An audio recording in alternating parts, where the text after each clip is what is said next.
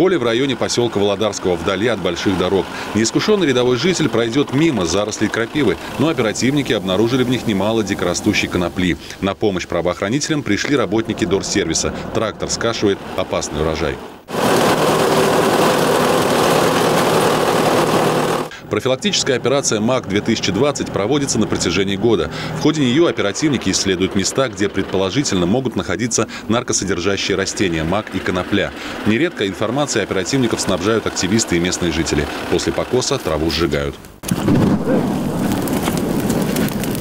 Еще несколько кустов конопли и тоже в зарослях крапивы правоохранители обнаружили в окрестностях города Видное. Несмотря на то, что внешний вид растения не оставляет сомнений в том, что это именно конопля, закон и регламент требуют проведения анализа, действительно ли в растениях содержатся наркотические вещества. Данная территория будет оцеплена сотрудниками полиции до результата исследования.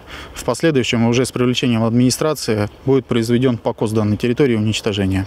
Правоохранители напоминают, что незаконное культивирование растений, содержащих наркотические или психотропные вещества, может повлечь уголовное наказание, равно как и их незаконное приобретение, хранение, перевозка, сбыт или пересылка. Максим Козлов, Сергей Ларин, Александр Логинов, Ольга Садовская. Видное ТВ.